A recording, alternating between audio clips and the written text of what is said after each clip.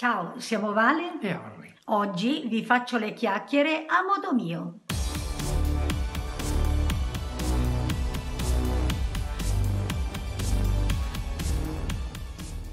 Ingredienti per le chiacchiere.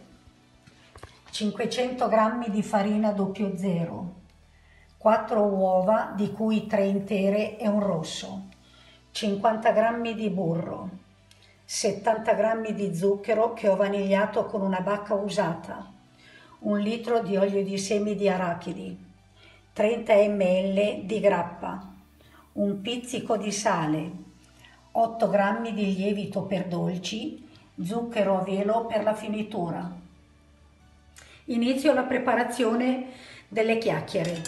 Unisco il lievito alla farina e setacciamo il tutto. La farina setacciata l'ho messa nel frullatore, aggiungo il sale, un pizzico di sale, lo zucchero, togliamo la bacca, le uova, facciamo andare mezzo giro.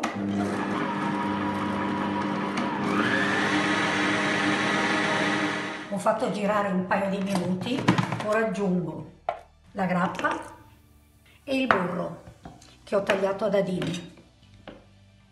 E adesso facciamo andare ancora un po'.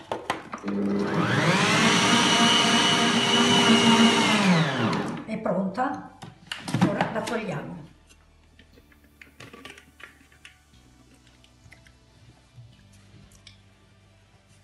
Ho messo un po' di farina sotto al piano lavoro, la lavoro a mano un attimino e la mettiamo in una pellicola e la mettiamo 30 minuti in frigo.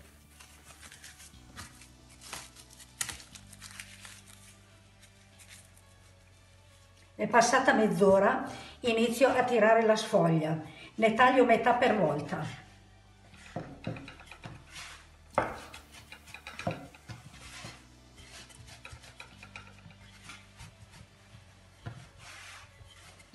Ho tirato la, la metà sfoglia, ora inizio a tagliare le chiacchiere. Pareggiamo un attimino. Io le faccio come me le faceva mia mamma quando eravamo bambini.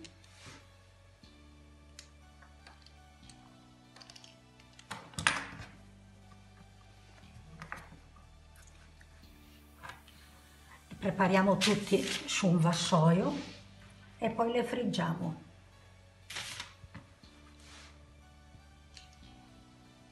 La sfoglia l'ho tirata 2 mm circa di altezza. Tiro anche l'altra metà della sfoglia. Io le chiacchiere le faccio irregolari, come faceva mia mamma. Chi la vuole piccola la prende piccola, chi la vuole un po' più grossa la prende un po' più grossa. Siccome noi eravamo in tanti e così si doveva fare. Questi sono i dolci del, del periodo di carnevale. Inizio a friggere. L'olio è a temperatura. Ne mettiamo dentro poche per volta. Quando sono dorate da una parte, le giriamo e facciamo dorare dall'altra. Le togliamo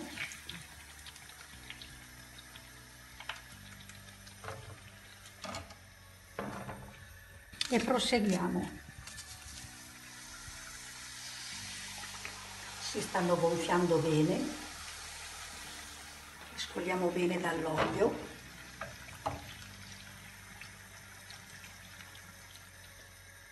Man mano che le friggo gli metto un pochino di zucchero a velo sopra, da tutti e due i lati.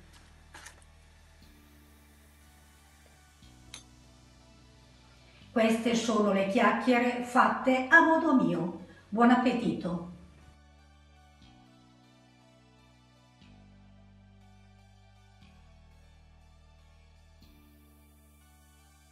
Vi sono piaciute le chiacchiere? Se vi sono piaciute fatecelo sapere qui sotto nei commenti.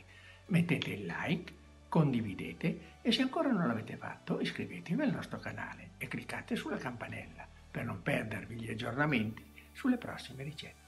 Ciao e buon appetito. Ciao alla prossima!